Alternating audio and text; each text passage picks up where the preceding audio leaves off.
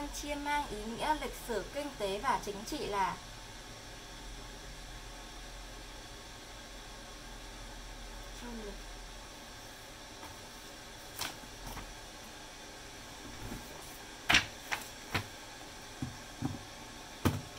Nhà Tống đã làm gì giải quyết những khó khăn trong nước? Mệt mỏi lại là lịch sử Xâm lược Đại Việt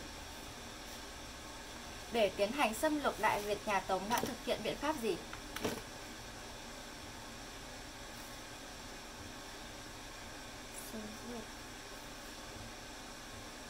Chủ trương đối phó của Lý Thường Kiệt trong cuộc kháng chiến chống Tống là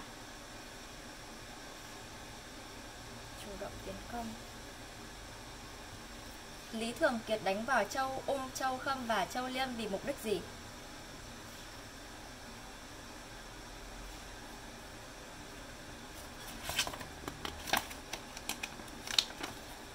Rồi.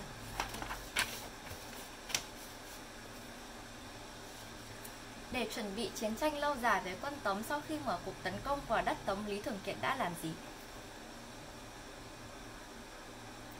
Phòng tuyến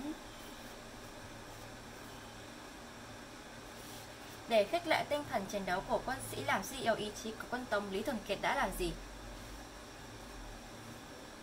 Nam Quốc Sơn Hà Ban thưởng cho quân lính